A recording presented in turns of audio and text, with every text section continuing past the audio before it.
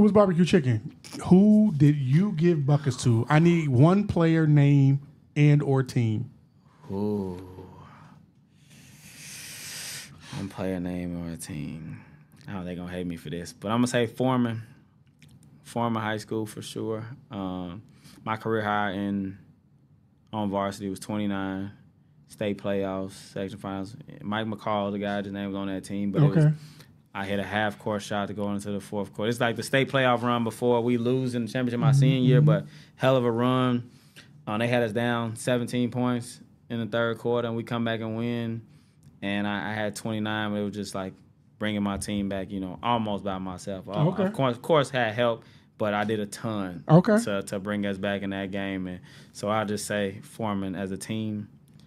Oh, damn, who did I just give buckets?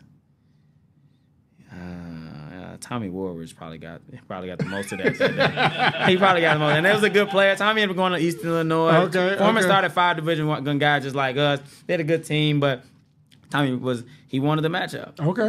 um, and that's that's what it was. It's probably a lot of people I can go down the list of, but if I could if I could just remember game by game, but yeah, it was definitely Okay. people got a fair share. Okay.